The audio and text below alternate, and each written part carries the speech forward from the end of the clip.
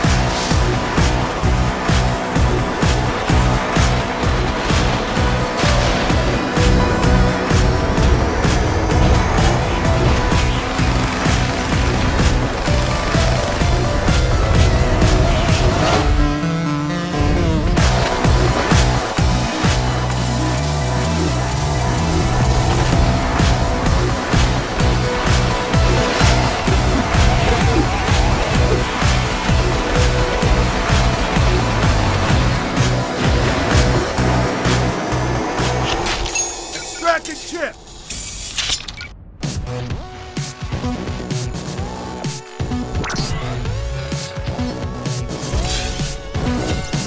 sure to check back for paydays every 1st and 15th of each month for exclusive assets.